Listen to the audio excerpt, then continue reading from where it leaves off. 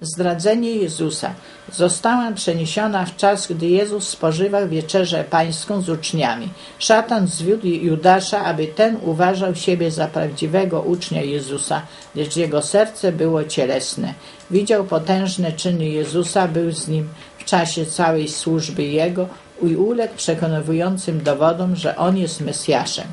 Judasz był skąpy i chciwy oraz kochał pieniądze. W złości krytykował rozrzutność wylanego na niego na nogi Jezusa kosztownego olejku. Maria miłowała swego Pana. On przebaczył jej grzechy, a było ich niemało.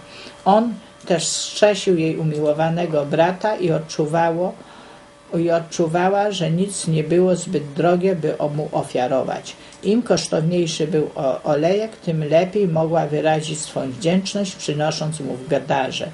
Judasz, usprawiedliwiając swoją chciwość, twierdził, że ów olejek można było sprzedać, a pieniądze rozdać ubogim.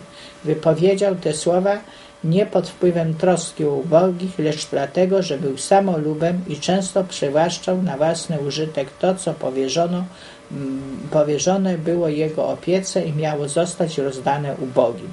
Judasz w ogóle nie zwracał uwagi na potrzeby i fizyczną biedę Jezusa, ale usprawiedliwiając swoją chciwość często powoływał się na biednych. I ten akt hojności ze strony Marii był najostrzejszą naganą jego chciwego usposobienia. Została utorowana droga do pokus szatana i w ten sposób znalazły one w sercu Judasza dobry i podatny grunt. Kapłani i przywódcy Żydów nienawidzili Jezusa, jednak tłumy chciały słuchać Jego pełnych mądrości słów i podziwiać Jego potężne czyny. Lud był wielce zainteresowany i pełen zapału, szedł za Jezusem gorliwie słuchając nauk cudownego nauczyciela. Wielu z przywódców Izraela uwierzyło w Jezusa, jednak brakowało im odwagi, aby wyznać swą wiarę. Obawiali się, żeby ich nie wykluczono z synagogi. Kapłani i starsi zdecydowali, że należy coś uczynić w celu odwrócenia uwagi ludu od Jezusa, ponieważ bali się, że wszyscy uwierzą w Niego i dlatego czuli się zagrożeni. Uświadomili sobie, że albo utracą swe stanowiska, albo wydadzą na śmierć Jezusa. Ale gdy nawet zabili Jezusa, to nadal pozostaną ci, którzy byli żywymi pomnikami Jego mocy. Jezus zbudził zmarłego łazarza i kapłani obawiali się, że Jego zabiją, że jeśli zabiją Jezusa, to Łazarz będzie świadczył o Jego potężnej mocy. Lud tłumnie gromadził się i chciał oglądać tego, który został z martwych zbudzony. Zatem przywódcy zdecydowali, że trzeba będzie zabić i Łazarza, aby położyć kres emocjom. Wówczas zwróciliby lud do swych tradycji i nauk ludzkich, dodawania dziesięciny zmiętej asyżu i ponownie mieliby na wszystkich wpływ. Uzgodnili, że pojmą Jezusa wtedy, kiedy będzie sam, bowiem gdyby czynili to wobec ludzi, naród wielce nim zainteresowany mógłby ich ukamienować. Judasz wiedział o ich ogromnej chęci schwytania Jezusa, zaproponował więc arcykapłanom i starczym, że za kilka srebrników zdradzi go. Miłość do pieniędzy doprowadziła Judasza tak daleko, że wydał swego Pana w ręce jego najbardziej zawziętych wrogów. Szatan działał bezpośrednio przez Judasza i podczas wzruszającej sceny ostatniej wieczerzy zdrajca układał plany wydania swego Pana. Jezus pełen smutku powiedział uczniom, że tej nocy wszyscy się z niego zgorszą. Wtedy Piotr gorliwie zapewnił, że gdyby się nawet wszyscy zgorszyli z jego powodu, on się nie zgorszy. Na to odpowiedział mu Jezus. Szatan wyprosił sobie, żeby was przesiać jak pszenicę. Ja zaś prosiłem za tobą, aby nie ustała wia twoja wiara, a ty, gdy się nawrócisz, utwierdzasz swoich braci.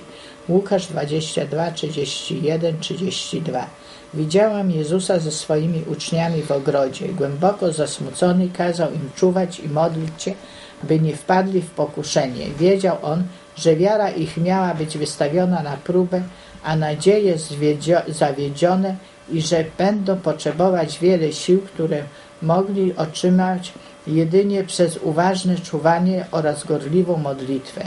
Z wielkim wołaniem i parczem Jezus modlił się: Ojcze, jeśli chcesz, oddal ten kielich ode mnie. Wszakże nie moja, lecz Twoja wola niech się stanie. W ogromnej udręce modlił się Syn Boży. Na jego czole zbierały się duże krople krwi, które później ściekały na ziemię. Aniołowie unosili się nad tym miejscem i byli świadkami całej tej sceny, ale tylko jednemu z nich polecono udać się na ziemię i pokrzepić Syna Bożego w jego udręce. W niebie nie było radości. Aniołowie odłożyli swe harfy i zdjęli korony, patrząc w milczeniu i w największym skupieniem na Jezusa. Chcieli otoczyć Syna Bożego, lecz dowodzący aniołowie nie pozwolili na to, gdyż ujrzawszy zdradę, chcieliby go na pewno wyswobodzić. Raz powzięty plan musiał zostać wykonany. Wstawszy od modlitwy, Jezus poszedł do swoich uczniów i zastał ich śpiących. W tej strasznej godzinie nawet ze strony swoich uczniów nie doznał ich ani współczucia, ani modlitwy. Piotra, który przed chwilą okazywał tak wielką gorliwość, teraz zmógł sen. Jezus przypomniał mu owe stanowcze zapewnienia, mówiąc, tak, to nie mogliście jednej godziny czuwać ze mną. Trzy razy modlił się Syn Boży w tej utręce.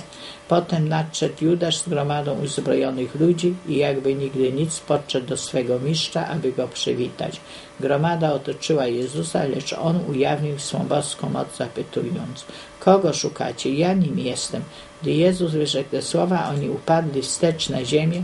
Jezus dlatego pytał ich o to, by mogli ujrzeć Jego moc oraz mieć dowód, że gdyby tylko chciał, uwolniłby się z ich rąk. W uczniach obudziła się nadzieja, gdy zobaczyli, jak tłum uzbrojony w kije i miecze tak prędko upadł. Kiedy się podniósł i ponownie otoczył Syna Bożego, Piotr dobył swojego miecza i uderzył sługę najwyższego kapłana, odcinając mu ucho. Ale Jezus polecił mu schować miecz, mówiąc, czy myślisz, że nie mógłbym prosić Ojca mego, a On wystawiłby mu teraz więcej niż dwanaście legionów aniołów? Widziałem, że gdy zostały wypowiedziane te słowa, oblicza aniołów ożywiły się nadzieją. Chcieli otoczyć swego dowódcę oraz rozpędzić ów rozgniewany motłoch. Lecz ponownie ogarnął ich smutek, gdy Jezus dolał. Ale jak gdyby, jakby wtedy wypełniły się pisma, że tak się stać musi. Również serca uczniów pogrążyły się w rozpaczy i gorzkim rozczarowaniu, gdy Jezus pozwolił wrogom, aby go pojmali. Wtedy wszyscy uczniowie, obawiając się o własne życie, opuścili go i uciekli. Jezus pozostał sam w rękach morderczej zgrai. Ach, jakże triumfował wtedy szatan. Z kolei jakiś smutek i zmartwienie ogarnęły aniołów bożych. Na ziemię zostały wysłane liczne zastępy świętych aniołów wraz z ich dowódcami, aby byli świadkami tej sceny. Mieli oni zapisywać każdą zniewagę i okrucieństwo, którego doznał Syn Boży, a także zaznaczyć ból i mękę, którą znosił Jezus, bowiem ci sami ludzie, którzy brali udział w strasznych scenach, będą musieli raz jeszcze zobaczyć to w żywe, to wszystko w żywych obrazach. Dziękuję.